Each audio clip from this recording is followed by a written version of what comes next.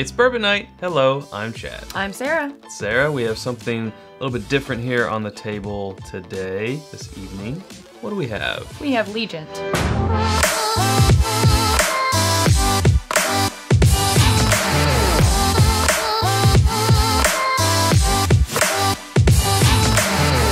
Jim Beam, but mm-hmm. also Beam Suntory. Right. So the, the combination of Suntory whiskey and, and Jim Beam, and this is the first ever combination of Fred Noe, Master Distiller Jim Beam, and Fuji. Uh, nope. and Can he get it? I forgot. Shinji Fukuyo is, I believe, how you pronounce his last name. Shinji, yes.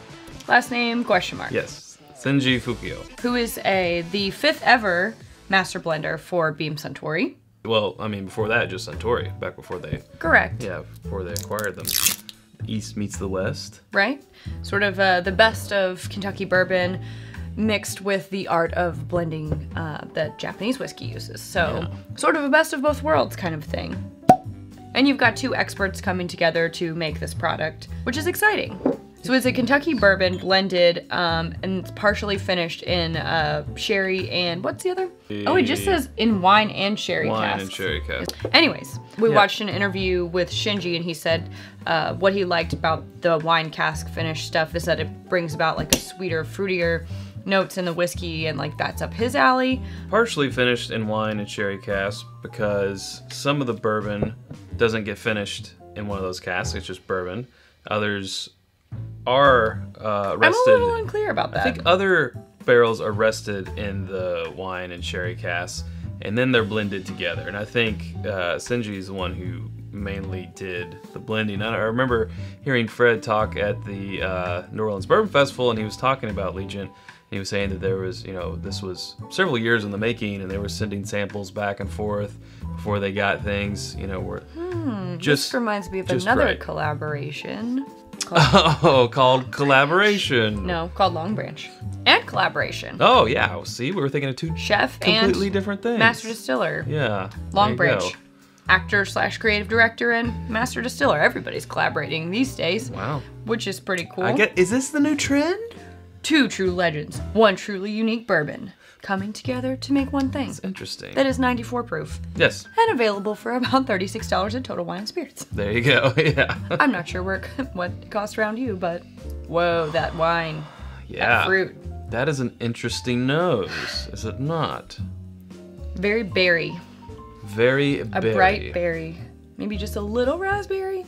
I get raspberry, strawberry, a little bit of peach. I don't know, just yeah, all the fruits. A lot of sugary fruits. A lot of fruit. Yeah, for sure. It's pretty delicate. It is. Although you do get some wood notes coming through and like a nice toasted. I wouldn't call it char. It just is like toasted. With it being a beam product, I would not call it nutty. It does not have a nutty nose. I don't know. If you look deep down in there, I could get. Search for that beam nuttiness. I see it. Yeah, I found it. Mm-hmm. Mm. I guess as it is powerful as their other products, but it's in there. Well, also, you know, it being 94 proof. It's sure. I harder. think it's there. But yeah. All right. Well, see what it tastes like. I still think it's nutty. Oh yeah, there's definitely. oh, I bit my lip earlier. Not really burnt. definitely an underlying, underlying nut characteristic. I don't think it's as sweet as he sold it. Typical Jim Beam nuttiness. I need one more sip, and the finish is really short. I think I'm about ready for my second sip because yeah, Yeah. the finish the finish is pretty much gone. Wow. Yeah, like a lightly salted, toasted nut up front. Yeah. And like a lot of those fruit notes that I, were, I was getting, it's a darker fruit now, and I think it's closer to the finish, towards the back end of the palate. Um, It's like, like, a plum almost, but it's um, it's going away pretty quickly. Like very different from how I thought it was going to be based on the nose. this is what I'm kind of getting from it is it's like a weak uh, cocktail. It's like a, Hmm. a, a weak old fashioned. You know, where an old fashioned might just be So an sugar- old fashioned with an ice ball. Yeah, it's like some sugar, a little bit of bitters. I mean, it has that quality like, hey, I'm drinking a lower proof bourbon, but it has um, a cocktail quality to it. I kind of see what you're saying. Like I think it would be really good in a cocktail because it has some like sugary sweet notes, but it's not overpowering. It's like kind of an underlying thing, and then it's got that nice like nutty toasted note, and then it's lending to that fruit also. So I think that that would be really balanced. Mm-hmm.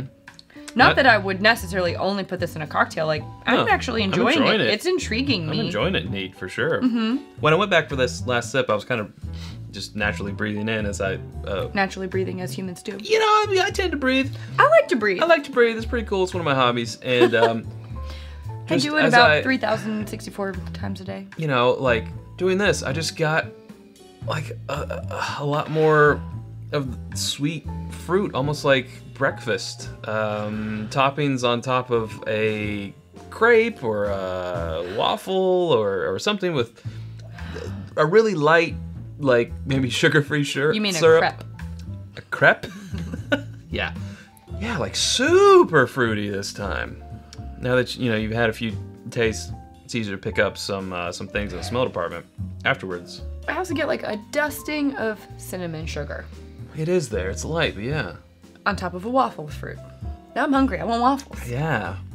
I think if this was a higher proof, that sweet breakfasty slash desserty quality would really come forward. I agree, but I think it would be balanced by an even stronger toasted nutty flavor. Yeah.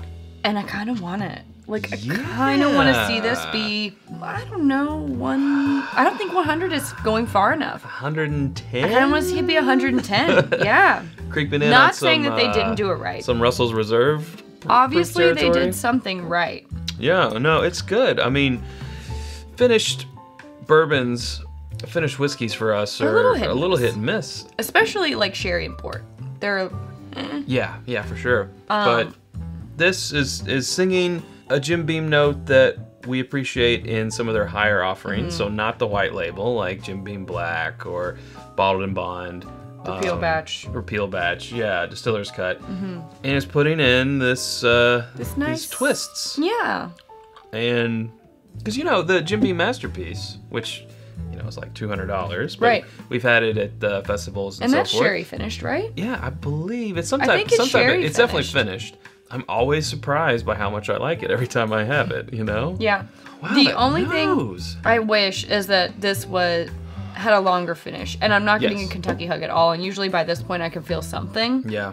Well, I think that's just the We're proof I don't that comes along with it, and uh, I don't know, but a 90 maybe it's plus a is maybe a, it's a Japanese greeting, not a Kentucky hug. It's a Japanese greeting. I don't know. It's slightly there, but yeah, like you said, it's not a, it's Hmm. not a Kentucky hug. And every time I go back to it, I get something different. So like Mm-hmm. now I'm getting a little bit of floral. Mm-hmm. It's cool.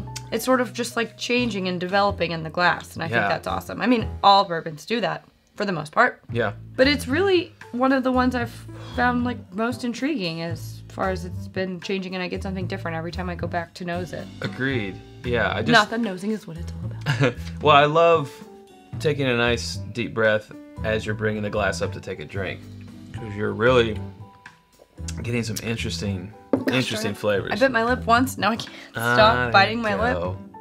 Ah, I, I like it. So let, let's come down to May I have another sip? sure. Let's let's let's do it. I want to. Let's do it. Seconds, please.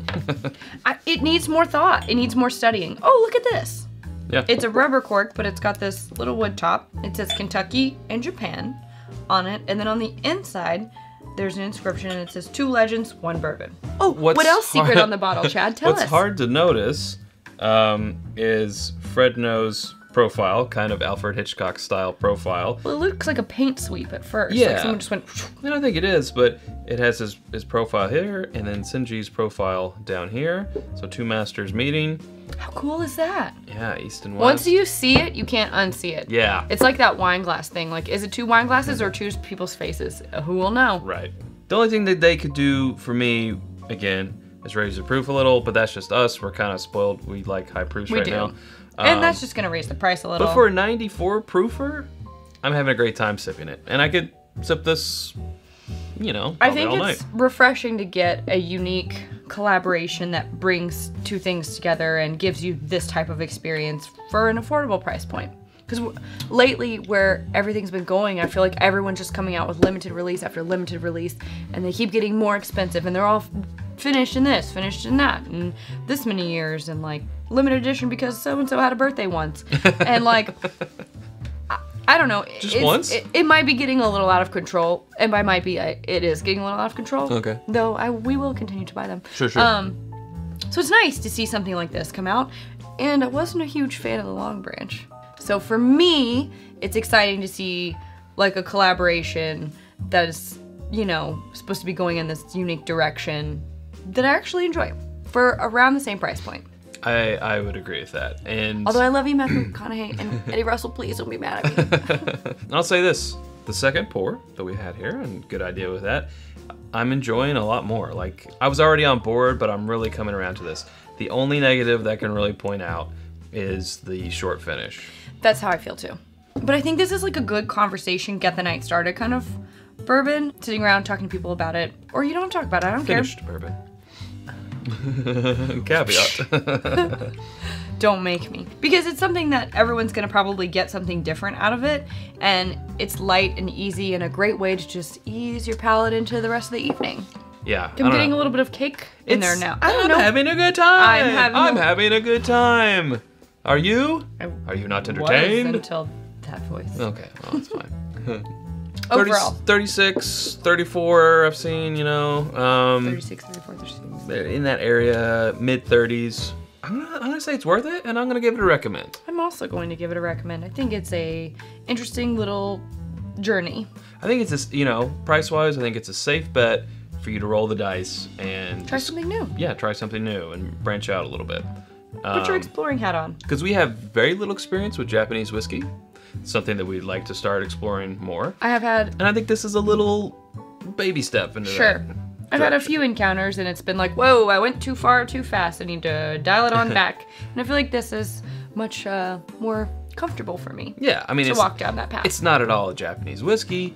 It's a Kentucky finished Kentucky bourbon, but at least you know Shinji, uh, You're getting a little hint. yeah, the master blender at Suntory, his taste profile, which would be of course Japanese whiskey. Yup. Okie dokie. Well, I feel like we've talked for long enough. I think we have. There we go. So, if this is your first time here, first of all, welcome. Thanks for coming in. You can hit the subscribe button. If you haven't already, you can leave a question or comment down below. Give us one of these if you want to. Uh, also, you can find stuff like, well, not exactly this, Something but they're, like this. they're coming back. Depending on when you're watching this episode, check it out. They might be there. If not, t-shirts and other uh, glassware at whiskeyambitions.com. For those who are whiskey ambitious, please check out that website. What else we have, Sara? Well, you can become a patron. It's patreon.com slash the bourbon and join in our community and our little conversation that we have going on there. Um, exclusive podcasts and whatnot. Other things, Yeah. secrets. No. Go just for one one dollar. Yeah. Um, you can also shop for all the goodies that we love uh, and having our bourbon night. It's amazon.com slash shop slash it's bourbon night. that is correct. And, and- lastly, you can follow us. I know where you're going, so I was like, Oh, you beat me to pull it. in there. No, You can follow us on all them social medias at Where? It's Bourbon Night. Yeah, that's where it is. The social medias. Social medias, everybody. social medias. Hey, go follow us on them social medias and your newfangled uh, smart device. This is why we don't normally have two pours on here. No, it's not. Okay, so that'll do it for us. Thanks, Sara. Thanks, Chad. Okay, until next time, drink more bourbon or finish bourbon whiskeys.